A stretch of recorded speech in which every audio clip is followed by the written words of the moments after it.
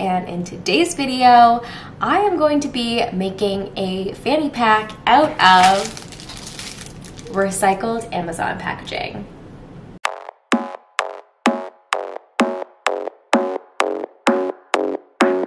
Hi, welcome to my channel. My name is Nicole and I like to do fashion DIYs and in today's video I am going to be making a fanny pack out of recycled Amazon packaging. So I was actually inspired to make something out of recycled packaging by this guy I follow on Instagram. His name is Daniel Pearce and I will have his Instagram linked below. But he made these really cool backpacks and that just got me thinking, how else can I recycle packaging that I get? This is by no way an endorsement for Amazon or Amazon Prime. Think of this as a little bit more of a statement piece as in how can we recycle and upcycle our packaging? And hopefully this works out and inspires you guys to do the same with some of the packaging you might have laying around the house or collecting. And to be completely honest with you, I have zero experience sewing with plastic, so I am a little bit um, apprehensive and nervous about that since this is like literally bubble wrap. This could honestly not work at all. Um, we're, we're just tackling this together. But to help me tackle this project, I actually picked up some supplies, including these Microtex needles. So they're just a really sharp needle. I thought that would probably or hopefully prevent it from skipping in my machine. And I also purchased some clear um, thread. I don't know if I'm actually going to use this. I am gonna try using regular thread, but if that is unsuccessful, I am gonna give this a try. Maybe this is a little bit more durable. We shall see. So I have accumulated three of the same packaging, or at least like the same print packaging. They're different sizes. But um, honestly, I don't know if all of it is completely usable because the side that has the stickers on, I did my best to like remove it from this one, but you can still see it's like you know, very much so there. And I really just don't have the patience to sit here and pick all of this off right now. So hopefully I can kind of get away with using the side that has no sticker on it. So we will see how that goes. Hopefully I'll have enough packaging. So for the straps of this bag, I really kind of wanted to stick with the recycled, upcycled theme. So I drove my ass to Value Village and scoured the bag section. Like went up and down the rows and refused to leave the bag section until I found something that I could use for the straps. And it did not disappoint.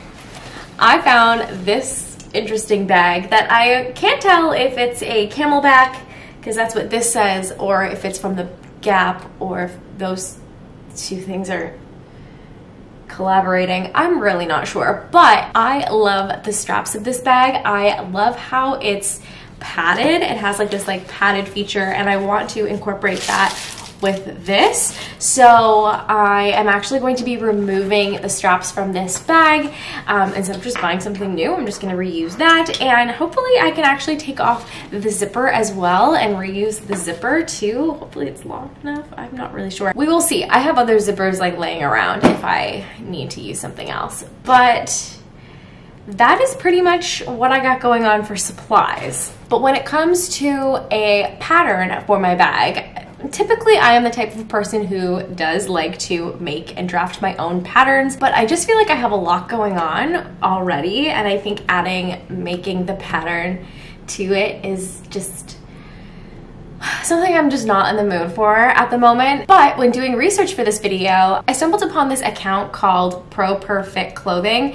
And this guy has like tons and tons and tons of different bag tutorials and they're all downloadable for $2.99 probably USD, but that's okay. I'm going to have this linked below because that is the pattern I'm going to be using. I think I do have to kind of adjust it because the width of the one that I'm looking at is just a little bit too big for what I have for my packaging and my available supplies. So I will have to kind of adjust it, but I will be linking his pattern down below as well as his tutorial on how you make the bag. And let's get started. Okay, so I now have my pattern pieces printed at 80% to scale and I have realized now that this piece here on the bag that I want to use these straps from is too big for what I have going on, so I kind of need to modify it a bit. So I'm going to do that. I'm just gonna kind of like redraw it on top of what I've got going on, and then I'm going to cut it out. And then cutting out my pieces. Oh, it's nerve wracking because I only have so much fabric to work with. So let's get drafting. So basically all I did to tweak the pattern, aside from shrinking it from the original, was elongate the sides. I made them three and a half inches wide and then rounded the bottom out from that adjustment. Once all my pieces were cut, I moved on to cutting out the liner pieces. Once that was done, I moved on to cutting out my pieces from the packaging. I cut down both sides to open up the packaging and carefully lined up my pattern piece with the text before pinning and cutting out my pieces. Once those were cut out, I moved on to deconstructing this bag so I could repurpose the straps and the zipper. Since the zipper was enclosed in the bag, I ended up just taking my fabric scissors and cutting the zipper out of the bag. Then I did a little fit test to make sure it would fit. Before I forgot, I switched my needle to the Microtex needle. Then I marked the middle of my pattern pieces by folding each piece in half to find the center. Moving on to the sewing process, I took the bottom flap and the zipper, pinning right sides together before sandwiching the liner over top.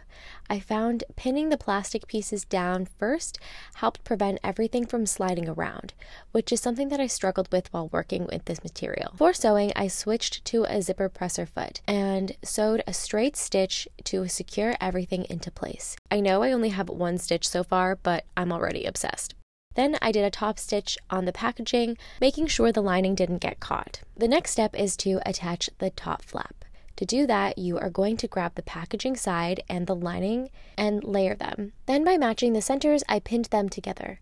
I made sure to use a lot of pins because it was very easy for things to slip out of place while sewing. I actually had to redo the seam once. The thing that helped keep it in place was starting from the middle and sewing to either side. To make the inside look as nice as the outside, I needed to bind the seams on the inside, and I had no bias tape in white, so I had to make some. To do that, I cut out a square of cotton fabric. With my square folded diagonally, I cut down the fold line. Then I took one half and turned it 90 degrees, pinning where the two sides met, before sewing them together. Then I pressed open my seam. Widthwise, I measured out 2 inch strips. Since I was making a double folded bias, this would give me a half inch bias tape when I'm done. Then I went in and trimmed off any excess and I am going to connect both open ends to close the loop. Now you want to match up the lines, but you need to stagger it and start with the second line. You also want to make sure that the lines are intersecting each other about a quarter inch. Then sew and press that seam open. Now it's time to cut. You are going to take your fabric scissors and follow the line you drew out. If you've sewn correctly, the line should add up and you should have one long continuous piece. I then took out this bias tape making kit I have and used the largest one. To use this tool, all you have to do is pull the fabric through and have your iron follow it. I'm not going to lie, this was so satisfying. And it makes a lot of bias tape. Then I sewed the bias tape over the last stitch I had made. Next up, I sewed on the sides. I sandwiched the lining and the packing side with the bag being mindful of which way the text was facing. Then I sewed it together. Then I did a top stitch that only went through the packaging side. It was then time to attach the straps I had seam ripped. Sadly, the width of the strap was too wide for the bag, so I had to trim it down a bit before sandwiching the strap between the lining and the packaging before sewing. Finally, I pinned the back piece of the lining and packaging right sides together to my bag, making sure to keep the zipper open so you can flip the bag right side out afterwards, then sewed. As you can see, things didn't perfectly line up with the back piece, so I just had to cut off the excess. Then to finish it off, I sewed the bias tape around the raw edges.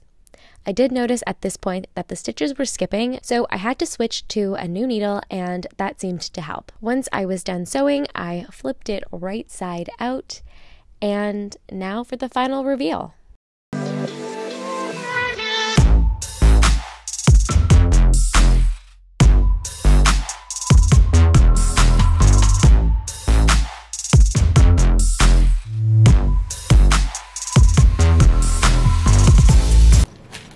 Turned out so well. I'm not going to lie, it was kind of a nightmare towards the end, specifically around the strap area here. My machine was skipping a lot, so the inside is kind of a hack job, but the bias tape luckily hides a lot of that. So it looks really good on the inside. I love how it's like a double zipper. I love how I reused the zipper and the strap from that other bag. Technically, this whole bag is upcycled from something old and I turned it into something new. And I am so obsessed with how it turned out. And if you guys make your own variation of this bag, please be sure to tag me or let me know because I would love to check out things that you guys create, especially if I inspired it. And yeah, please be sure to subscribe if you haven't already and give this video a thumbs up so I know that you like what you are seeing. And I will catch you in the next one. Bye.